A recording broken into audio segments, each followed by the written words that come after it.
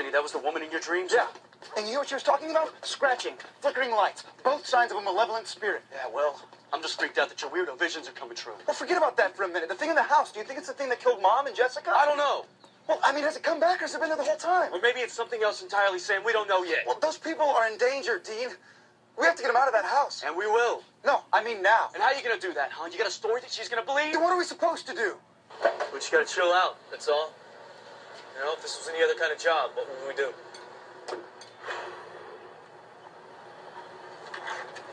We try to figure out what we were dealing with. We dig into the history of the house. Exactly, except this time we already know what happened. Yeah, but how much do we know? I mean, how much do you actually remember? About that night, you mean? Yeah. Not much. I remember the fire, the heat. Then I carried you out the front door. You did? Yeah, well, you never knew that? No. And, uh, well, you know Dad's story as well as I do. Mom was was on the ceiling. Whatever put her there was long gone by the time Dad found her. And he never had a theory about what did it? If he did, he kept it to himself. God knows we asked him enough times. Okay. So if we're to figure out what's going on now, we have to figure out what happened back then. And see if it's the same thing. Yeah. Talk to Dad's friends, neighbors, people who were there at the time.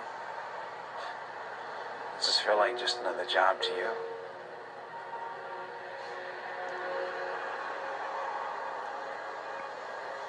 I'll be right back. Go to the bathroom.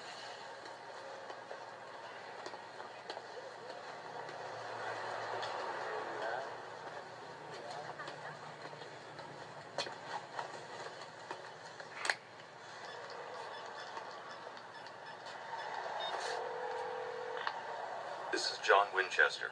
If this is an emergency, call my son Dean, 866 907 3235. Dad? I know I've left you messages before. I don't even know if you get them. But I'm with Sam, and we're in Lawrence. And there's something in our old house. I don't know if it's the thing that killed Mom or not. But I don't know what to do.